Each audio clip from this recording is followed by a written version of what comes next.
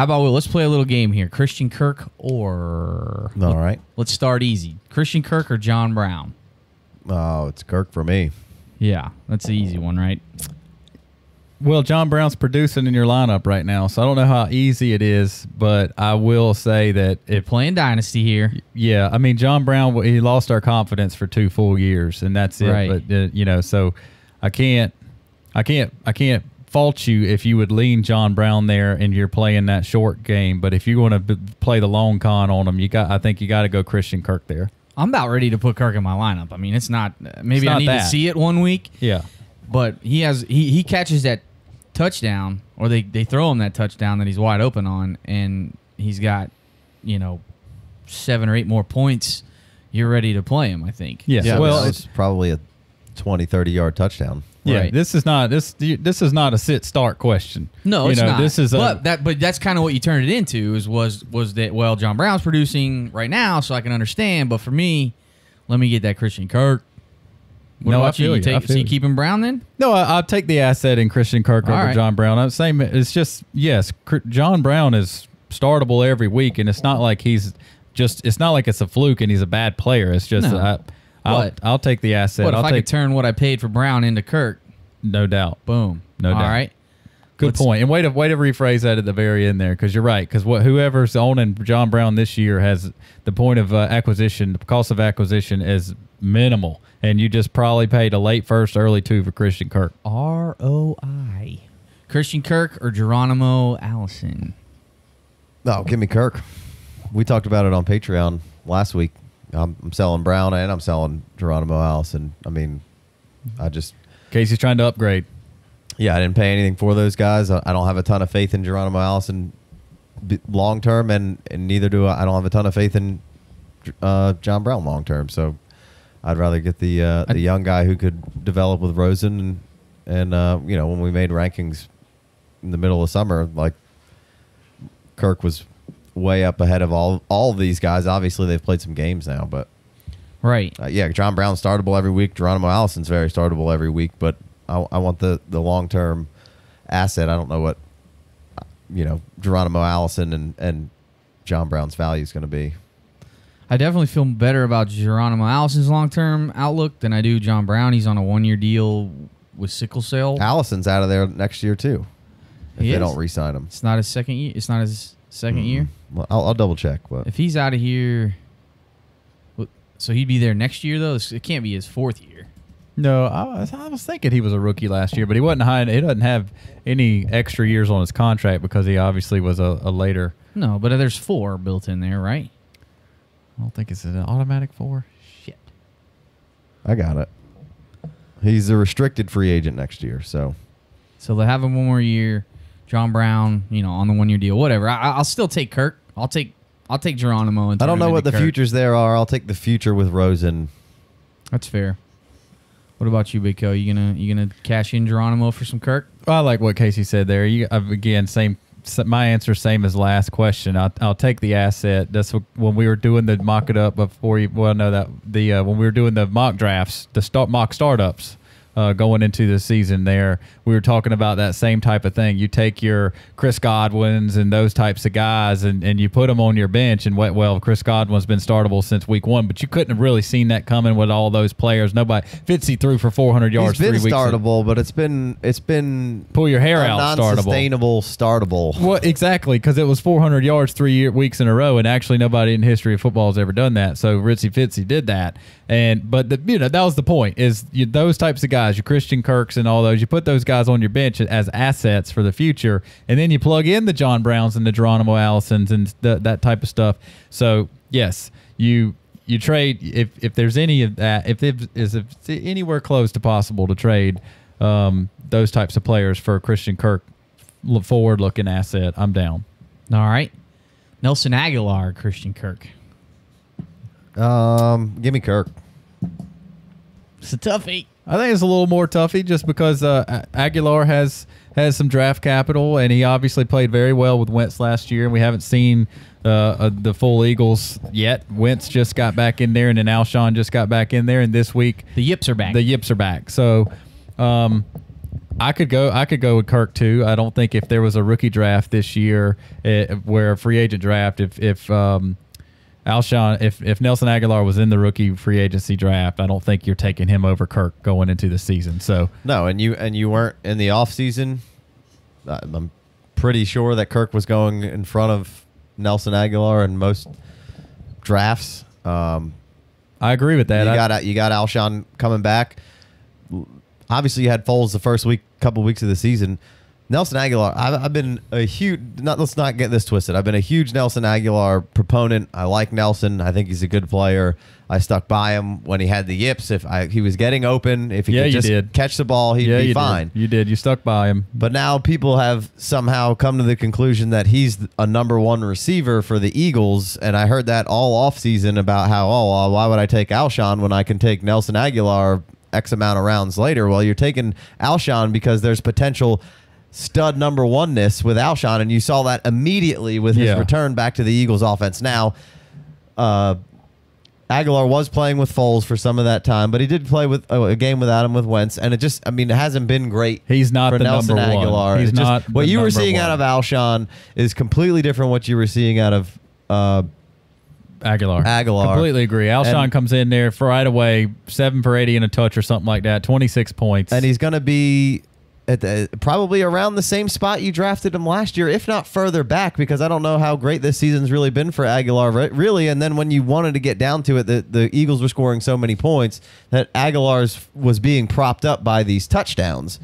Um, Yes. in, in most of the season last year, which is fine. I know the Eagles are typically going to score points, but I, I just I think I don't think it takes much for Agholor to stay where he is eh, or drop further back, even if he has a decent season. And I think Kirk's going to just continue to more f- move forward as the season goes and he gets on the field and people see him a little more and his name is in some more people's mouths. I agree with so that. I'm I'm I'm going Christian Kirk. It was actually eight for hundred and a touch for Alshon Jeffery, and but and and piggybacking. It was overtime. But That's true. It doesn't But- matter. Stats are still stats. Well, yeah, they do they lie. Don't lie. Only Or they do. 12 targets, five catches for 22 yards for Agholor, and we saw a handful of those catches, that ta- drops were near the line of scrimmage that weren't really great plays for Had some Nelson. downfield. that He were- did have some downfield Yeah. ones that were costly. Yeah, Yeah. exactly. Just one of those things where I completely agree with Casey. Going forward, if with And Zach- don't get it twisted. I like Agholor on my squad. Yes. Yes, but with with the with the ex with the running back situation they got going on there, with actually maybe a little bit better trio or even whatever the word for quadruple set of running backs would be, quartet maybe. Uh, solid effort. the solid quartet over there for running backs and Zach Ertz and J- Alshon and Jordan Matthews back in the fold. I, maybe the volume that was there for Nelson Agholor and the big play touchdowns might not necessarily be adding up to his value growing at, at the type of pace that Kirk would. So I agree with Casey on all that. All right, let's keep moving along. Christian Kirk or Tyler Lockett? You want this one? That's a toughie. Um, Love what I see out of Lockett right now. you gotta He's like looking strong. You gotta like what you see in out of Lockett, and now um, with a couple drops, the probably some maybe some bad antics on the sideline or in the meeting rooms. The coaches are talking about Brandon Marshall's might be getting swapped out of there, so that's uh, that's not great for for B Marsh, but good for Lockett. Um, I Yeah, I saw Lockett come into this game where a game where Doug Baldwin was back and seemed to be fairly healthy and was getting led the team in targets. Lockett was right there behind him doing basically the same thing he's done all year. What I really like about Lockett is that his awareness on the field when the, when it's it's at the end of the half or into the game and he makes a big catch, which he makes third down conversions. He comes up huge for this team when they need him.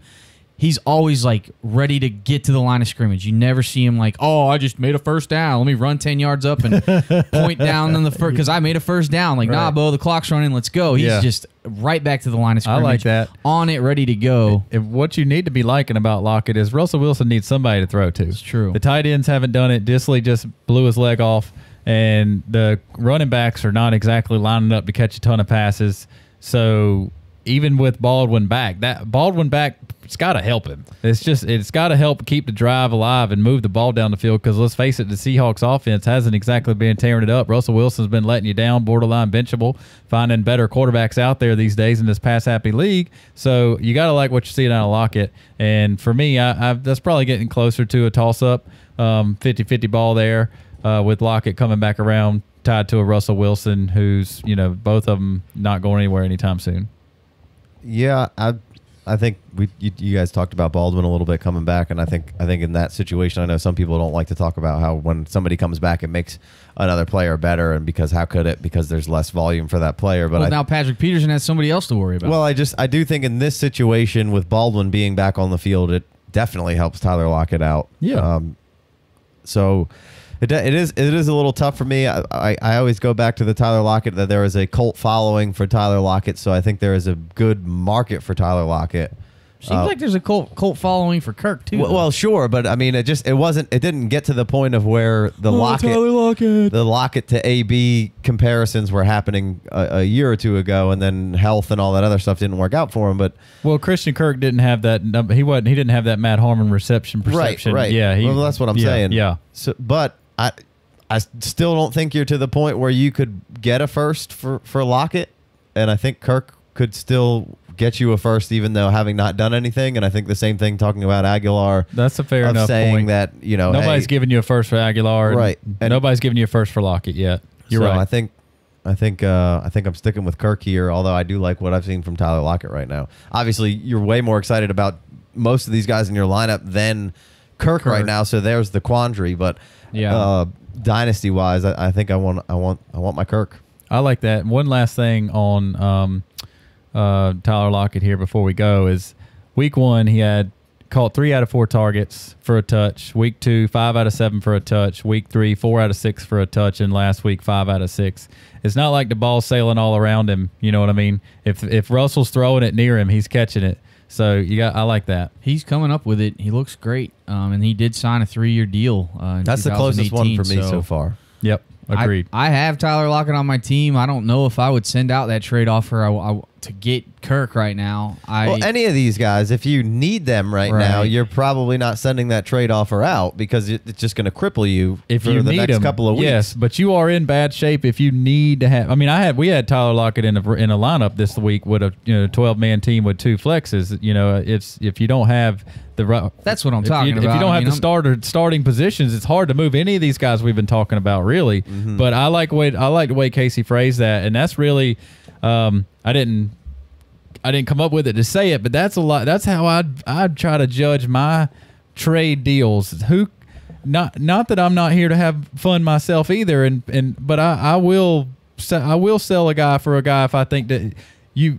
Christian Kirk could get you a first round pick. Tyler Lockett's probably not going to do it. Agholor's definitely not going to do it. That's that's a good way to think about it. We it's and, and and that's that's not the end all be all. No, but, that's that's your that's your good but that's your good way to bring it back to a baseline judgment call because in, especially like every every trade talk anytime you're talking when the we head do trade calculator. when we try buy sell when we talk about buy sell hold or this kind of game right here that Jay Wayne's got us playing it every type of potential trade is always so circumstantial to the roster that when you get into this you basically have to equate them to draft picks because you don't know anything else mm-hmm. so I like what Casey said there is Tyler Lockett will be getting close to getting that cult following. Maybe somebody will start to scratch their head about a first round pick, but Christian Kirk is still, you know, he, he was he was, he might have been one seven, one eight, one nine uh, on easily in somebody's rookie draft. he could have been somebody's top receiver Yeah, on the That's board. fair.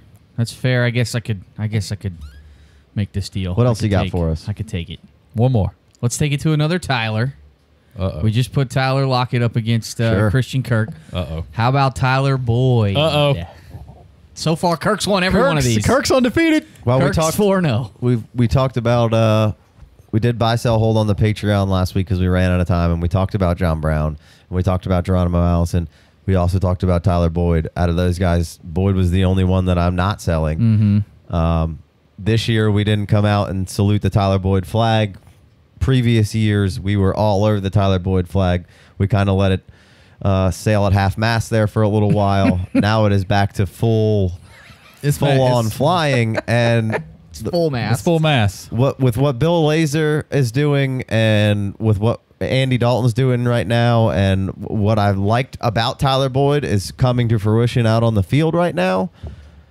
So I would have a tough time. Like I'm, I, I think Tyler Boyd right now is fetching some first round picks from some No people. doubt about it. So No th- diggity. this I just said Lockett was the closest. This for me is is tossing two balls up in the air and and uh, you know I don't I don't really know which one I want. I guess right now because I like the long term outlook of Tyler Boyd and what's going on, and I like I, I, man.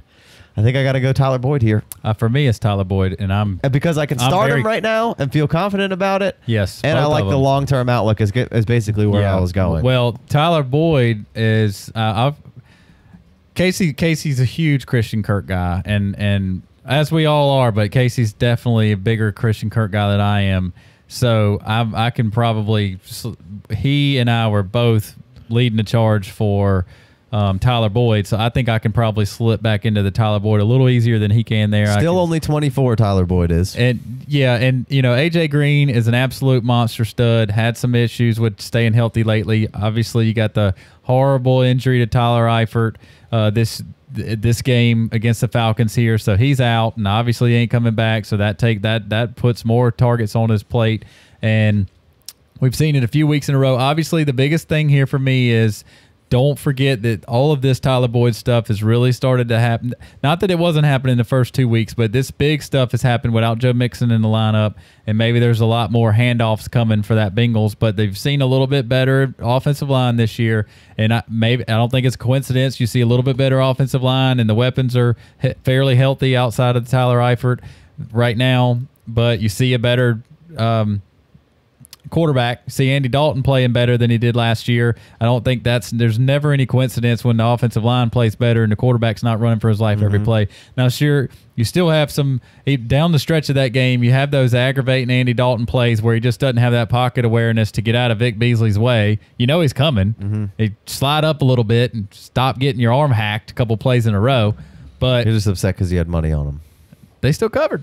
they got he got he threw it to AJ and they they won the game, much less covered plus six. Love it, love it. They had it, but he did me sweat. He made me sweat. I didn't like that. Didn't need the sweat. But uh, yeah, I'm Tyler Boyd for sure. With the three games over 20 points, I mean, I got to give the nod to, to Tyler Boyd here, I guess. And then it's not to say that Allison and and all those other players we named haven't been producing and Yeah, all It's that just other not stuff, quite like this. I like what I've been seeing from Tyler Boyd in this offense. All right, let's do one more.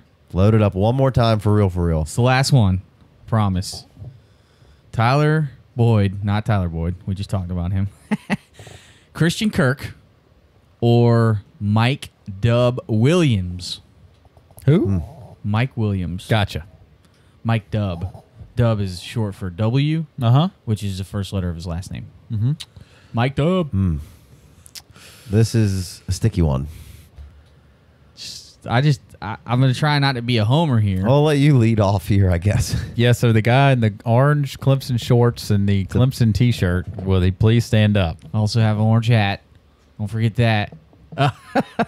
I got to take Mike Williams over Christian Kirk. And it's a guy we haven't talked about a lot, and at some point I would like to talk about some Mike Williams because there's a ton of hate out there for him. I don't want to open up that box right now. Is there? There's there always has been. Well, yeah, for sure.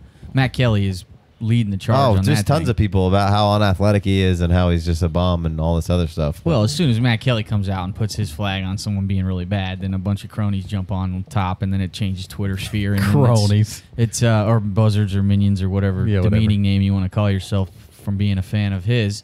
Uh, I mean, but but well, look what he's done this season. You're seeing what he was drafted to do, which is score touchdowns. And I know, I know you let you down this past week. Um, who the the, the uh, Chargers play? the Niners The Niners. gave him everything they could handle. I gave him everything they could handle. had him on the ropes. Probably should have won that game. Uh, but but what you see Mike Williams do, he's out there scoring touchdowns. I think he's got. Has he got three already this year? Sure, I think so. Uh, two in one game, and and you just see him going up in the end zone and coming down with the ball. And when you got and, and he was he's a top ten pick in the NFL. I think he was seventh. And and they're finally getting what they what they basically paid for, which is a guy who could score touchdowns. So not that I don't think Christian Kirk could score touchdowns, but I'm gonna I'm gonna I'm gonna swing for the fence here with with this massive double digit touchdown scoring potential. So if I don't take Mike Williams here, I'm basically right now at this point rating Tyler Boyd over Mike Williams. Yeah, because would I just took because I just took Tyler Boyd right. instead of Christian Kirk, and when I was doing my preseason kind of rankings and figuring things out, this was you know all these rookies, uh, whoever it was, and Mike Williams were always a tough kind of toss up because Placement. one you hadn't seen a whole lot, whole lot of Mike Williams. Mm-hmm. Um, Very little. Until he started but- making flashes in the preseason, but I hadn't like seen anything. right? But. I like I always liked the prospect of Mike Williams, even though a lot of people didn't. He's a bigger bodied guy, Alshon Jeffery kind of player, uses that frame well, knows how to use what he's got. I think he's just is a is a has the innate ability to play the position. He is the separation, as we like to say, with some of these bigger bodied guys um, who don't necessarily need to run away from everybody. He knows how to use that frame. he's not afraid Um, of contact. And you've seen that in this in the, in this season. You've seen him in in situations where balls are placed in in good positions. He knows how to box people out, use the, use the long arms and all that stuff. This is tough for me. Basically, I think I'm, I'm trading essentially what you were last year as your you know anywhere from one nine to one twelve in your Mike Williams in your fa- rookie drafts to anywhere of Kirk being in the same uh, vicinity this And year. Mike would have been higher had he not hurt his back so early. I think. M- maybe, maybe. I think a lot of people just didn't like the athletic profile of what Mike Williams was putting out there, pushing him down the board. So, in my opinion, I think you're trading kind of last year's, two years ago's pick for this year's kind of pick. So I think it's almost it's kind of a stalemate here for me. Uh, and How I, it's crazy that I just took Tyler Boyd over both of these guys, and now I'm saying that they're kind of a stalemate. so I, That's I- just uh, that, there's nothing wrong with just being like, you know what, Tyler Boyd's just been awesome, and and and I 15 targets in a game and 10 targets in the game before that, uh, nine targets will do that. Uh, you know, and you got to catch them, you got to do something with them. But Tyler Boyd's done it. I'll take Mike Williams over Christian Kirk. Um, I've maybe down the line, the target ball, it'll be one of those Mike Evans versus Keenan Allen. Uh, those two guys would, you know, the two youngsters would love to be in their conversation. But maybe down the line, you'll have the big body Mike Williams that scored touchdowns, and you'll have Christian Kirk crushing receptions, and then probably get to the same point totals in different ways in a Marvin Jones, Golden Tate esque type fashion. Right. Um, but I can see is you know, let's say short term, the next three years, if Philip Rivers stays playing, then I can see the Philip Rivers throws touchdowns. He's thrown thirty around thirty a year for ten straight years or something like that. I could see Mike Williams coming up with six to ten touchdowns or fluky, six to ten touchdowns for the next. he's a double digit guy. Yeah, if he, he- if he, especially if he becomes more of the guy. yeah, And I think what I what I what makes it even more of a stalemate for me is like just like you said, like they can come up with their totals in different ways. Right. And I think they're both kind of trending towards the line of being the guy on their team at some point. yeah. Um, both with good players in front of them. Obviously, Larry's a lot closer to the end of things than uh, Keenan Allen is. Just sure. Um, but I mean, maybe not. Keenan Allen rupture his spleen. But you got to you got to produce you got you got the higher ceiling of the Chargers offense with Philip Rivers and you got you know Rosen who's a younger next cat year who's could coming be along. it could be you know saying that the Cardinals offense is up there with the top producers and you know you, Absolutely you don't could. know what's going to happen. You don't. No, you don't. And Rivers could say, "I'm But having my something's gotta 29th ch- kid, so I'm I'm going to stay home." This is I- all true, but something's got to change for something fundamentally has to change, and we saw just a teeny bit. Obviously, the quarterback changed, but a teeny bit of hey, let's get let's not forget that our running back is the top two or three in the league uh, for the Cardinals. But they got a they brought in a defensive minded coach, and they brought Same in with the Chargers, though. Mike McCoy, who just doesn't Is- is- do- you could be know. fireable. Yeah, he's a mid. Yeah, got fired last year and halfway through the season. So um, we'll see how we'll see Oh, how all we can hope is that the Cardinals fire their offensive coordinator. That's always a shot of life halfway through the season. Whoever does it, Bill Lazor, as we just mentioned with Tyler Boyd and, and Andy Yeah. Dalton, Bengals got better last year, a lot better. You know, sh- gave a shot of li- life to that offense, much like these quarterbacks coming in gave a shot of life to their offenses in these past weeks. And Good we've seen it with the. Ravens, uh, uh, and, and they love firing a coordinator halfway through the season and going to the Super Bowl. happens. One more thing, and take it for what it's worth, is for uh, my defense of Mike Williams over Christian Kirk here would be off the field. Uh, I know from being a Clemson homer, I know everything about Mike Williams. I know he's a stand-up dude. He's I just owed Mike Williams. He's just humble. No, I don't know Mike Williams. I know Mike Williams. We text. I have him on my fantasy team. He's huge. He's tremendous. Uh, he's a great dude. He's a hard worker. He's humble. He's a non-diva at the wide at the diva position. Um, we don't gonna- think Christian Kirk is any of those things. Well, Christian Kirk did get arrested for like public to damaging a property after he got drafted. And he so did. if you're gonna get That's arrested for jerking around in public jerking, Jerking around. Maybe you could rephrase that. Messing after around. you get drafted, Messing around. he was being a jerk. I think this was a. I think this was a. this was around. this was at the um, whatever the golf tournament is in Phoenix. Yeah, it That- that's the The- rowdiest the one golf where you get hammered. and yell Whatever. at people. You just get drafted in the second round, and then you're gonna go and get arrested. I like. I'm not trying to hold that against Christian Kirk too much. I mean, I was still willing to draft him, and I still took him over a bunch of players. There's here. a good chance if I'm Christian Kirk, I'm getting arrested at that golf tournament. Well, it just it just that that's a bonehead move, and it's never gonna. And, and there's something like that. That the only thing is that something like that could happen in the future. And Mike, I know it's never It gonna could happen, happen with to Mike anybody. Dub. well, you can you can you you raise me character. I'll raise you some neck and back issues that could Ooh. help cancel out some. And I and I don't I don't ever I hardly ever weighs into anything that I'm Yeah. gonna say. But if we're gonna talk about it, Yeah. I know Mike Williams is a very good guy. He's got a diploma from Throw Clemson. some chips in the middle of the table there. Uh, but but uh, Got his diploma. You like that? little, ah, little inside joke jab there. but you you you raise me character. I'm going with That's there's fair. there's some some Back injury. some risk of a risky spot on people's bodies with Yeah. Mike Williams. well, That's nobody. fair. Well, nobody wants to hear neck and back. Yeah, unless you're that that rap that song. Yeah, let's My neck. let's let's get out of here before you start singing a rap song. All yeah, right, I, think can't we- sing or rap, so think that's we've- not gonna play out. I think we've officially exhausted the Cardinals. Yeah. Good good for Larry Fitz here. Gets a nice little uptick. You're not scared to start him. Chad Williams, uh, definitely somebody I'd be fishing around for. Just Ricky like we were- Jones. Sure, looking Ricky to Seals see him Jones. come alive. Th- that's a, a good stab. But Chad Williams being a guy who Larry's maybe on the way out, they seem to kind of like this guy, Chad Williams. I think you could go fishing around for, for cheap for, for some Chad Williams. Obviously, just caught a touchdown. Oh, he's still uh, this very, past very week. cheap. But Probably I mean, on a you lot could of throw, waiver wires. You could throw a third or, or, or a fourth at somebody and see if you can't put him on your team for later. I like that. They've been holding him for a year and a quarter now, not seeing anything. So you could probably get him maybe for a third. But I definitely go fishing, see if he's out there on Offense some waivers. is on the on the up. definitely. All right, let's take a quick break, and we'll be back with more Married to the Game.